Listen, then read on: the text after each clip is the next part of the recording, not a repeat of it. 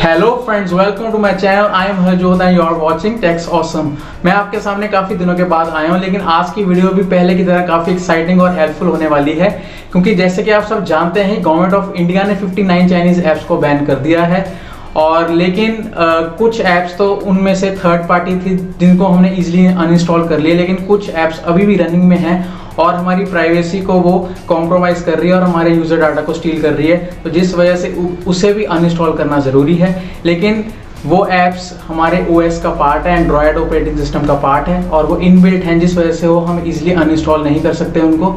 और आज ही, इस वीडियो के अंदर हम यही चीज़ सीखने वाले हैं कैसे आप उसको अनइंस्टॉल सक्सेसफुली कर सकते हैं। चाहे वो कोई भी फ़ोन हो रियलमी हो ओप्पो हो वीवो हो शाओमी का फ़ोन हो तो उसके अंदर एक ऐप होती है क्लीन मास्टर नाम की। और इस ऐप के डिफरेंट डिफरेंट ब्रांड्स के अंदर डिफरेंट डिफरेंट नाम हो सकते हैं, लेकिन ये ऐप एक ही है तो आपको इसको भी अनइंस्टॉल करना ज़रूरी है, क्योंकि ये इस ऐप को भी गवर्नमेंट ऑफ़ इंडिया ने बैन किया है। और इस वीडियो को स्टार्ट करने से पहले मैं आपसे एक रिक्वेस्ट करना चाहता हूँ कि अगर अभी तक आपने मेरे चैनल को सब्सक्राइब नहीं किया तो प्लीज़ आप इसे सब्सक्राइब कर दें और बेल आइकन को दबा दें, ताकि मेरे चैनल की हर एक नोटिफिकेशन आपको टाइम पे मिलती रहे। और अब से रेगुलर वीडियोस आने वाली हैं और इसके बाद एक और पार्ट टू वीडियो आने, आ, आने वाली है इसी चीज़ के साथ कॉन्टिन्यूशन के अंदर और वो भी आपके लिए काफ़ी हेल्पफुल होने वाली है। तो चलिए इस वीडियो को शुरू करते हैं और चलते हैं अपने कंप्यूटर स्क्रीन के ऊपर और वहाँ पे हमें जाके फॉलो करना है कुछ इंपॉर्टेंट स्टेप्स तो चलिए शुरू करते हैं।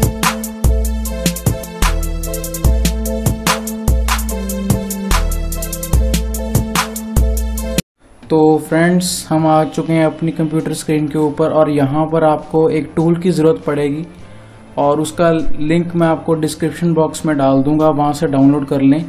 उसको डाउनलोड करने के बाद आपके पास एक जिप फ़ाइल आ जाएगी और उसका नाम होगा प्लेटफॉर्म टूल्स आपको उसको एक्सट्रैक्ट कर लेना है। एक्सट्रैक्ट करने के बाद आपके पास एक ऐसा फोल्डर आ जाएगा। इसको ओपन कर लें और यहाँ पे आपके पास ये फाइल्स आ जाएँगी। और उसके बाद आप यहाँ पर कमांड प्रॉम्प्ट में जाएँगे, नहीं तो आप स्टार्ट मेन्यू में जाके वहाँ पे सी एम डी टाइप कर सकते हैं और आपका कमांड प्रॉम्प्ट ओपन हो जाएगा।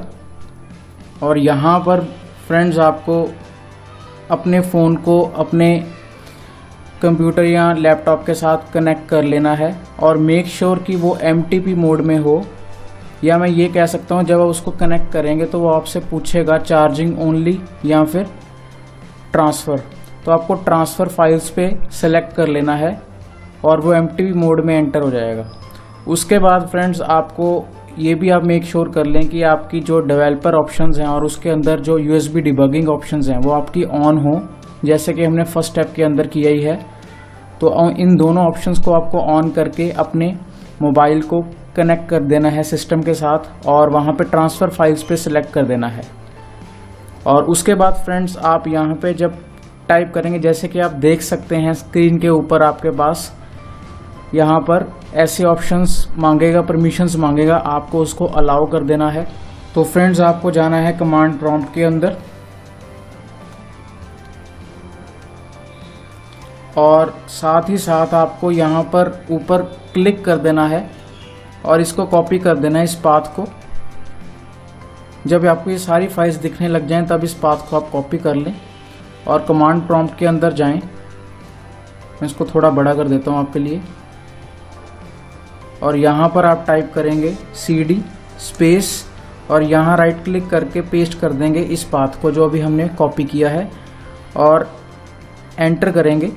और ये इस डायरेक्टरी के अंदर एंटर हो चुका है। और यहाँ से हम कमांड लगाएँगे ए डी बी डिवाइसेस और फ्रेंड्स मैं दोबारा बता दूँ कि आपका यहाँ पे फ़ोन ऑलरेडी कनेक्ट रहना चाहिए।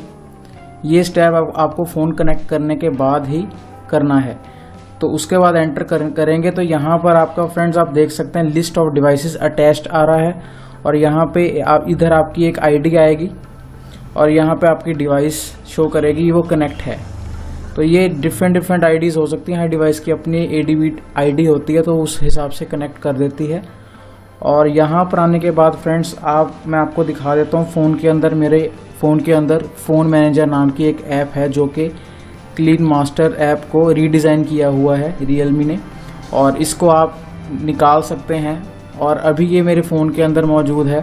तो यहाँ पे मैं टाइप करूँगा ए डी बी शेल ये इसकी कमांड है। और यहाँ पे मेरी डिवाइस का नाम आ चुका और इसकी शेल डायरेक्टरी के अंदर जा चुका है। और फ्रेंड्स यहाँ पर आपको एक कमांड लगानी है। अगर आपका एमआई डिवाइस है तो आप इस कमांड को लगाएँगे। मैंने अगर आपको ये कमांड्स चाहिए होगी तो फ्रेंड्स मैं आपको ये सारी कमांड्स प्रोवाइड कर दूँगा।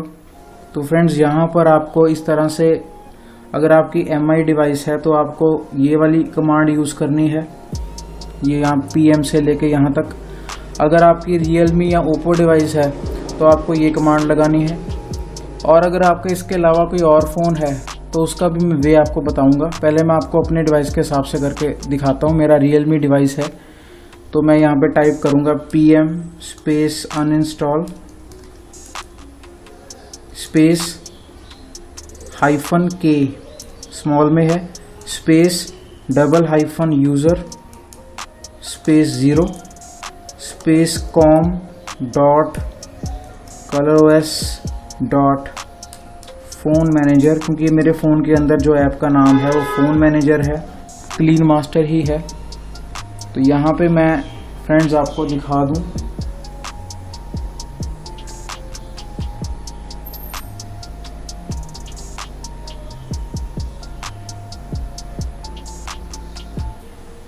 कि मैं इसको रन करने लगा हूँ और जैसे कि आप देख सकते हैं, मेरे फ़ोन के अंदर यहाँ पर फ़ोन मैनेजर की ऑप्शन अवेलेबल है और मैं इसे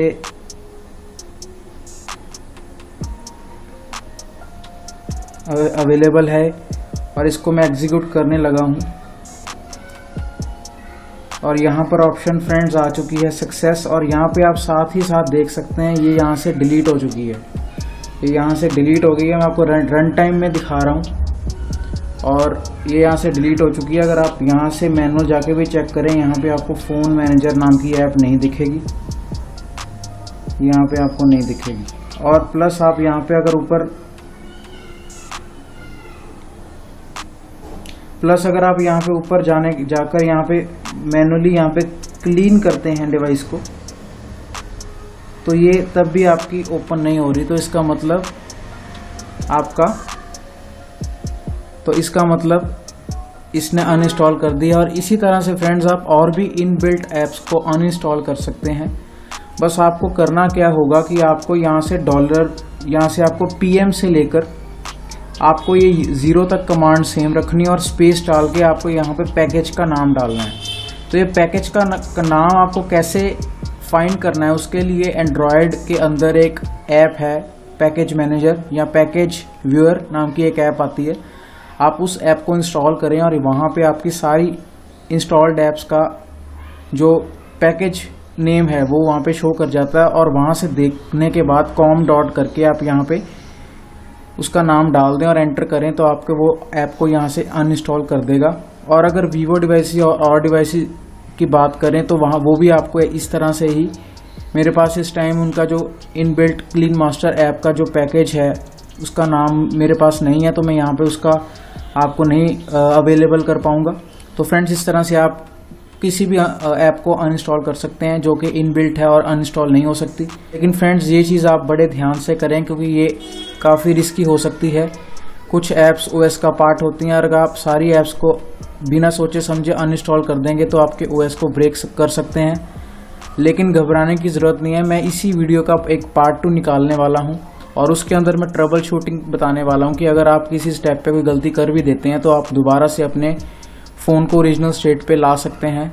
और वो मैं अगले इसी वीडियो सेगमेंट के पार्ट टू के अंदर आपको बताऊँगा। उम्मीद है कि आपको ये वीडियो पसंद आई होगी। आप भी इसे ट्राई करें। अगर आपको ये वीडियो अच्छी लगी तो प्लीज़ आप इसे अपने फ्रेंड्स के साथ शेयर करें, ताकि वो भी अपने फ़ोन की प्राइवेसी को रिक्लेम कर सकें और इन ऐप से निजात पा सकें। और अगर आपको किसी टाइप के अंदर प्रॉब्लम आई है तो मुझे कमेंट सेक्शन में कमेंट करें, या फिर इंस्टाग्राम पे डीएम करें, मैं आपका रिप्लाई ज़रूर करूँगा। और मिलते हैं इस वीडियो के पार्ट टू के अंदर, एक नेक्स्ट वीडियो जो होने वाली है, वो काफ़ी, वो भी हेल्पफुल होने वाली है आपके लिए। तो मिलते हैं अगली वीडियो के अंदर, तब तक के लिए बाय